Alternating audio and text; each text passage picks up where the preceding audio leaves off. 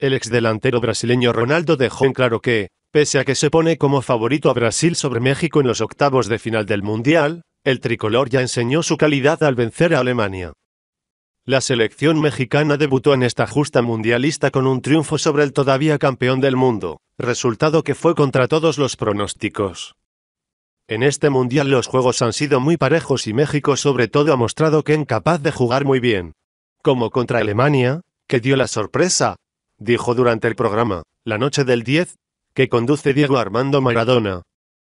Por su parte, el Pelusa consideró que, pese a que México ofreció su peor cara en el último partido ante Suecia, tiene capacidad ante rivales de prosapia como la Canarina.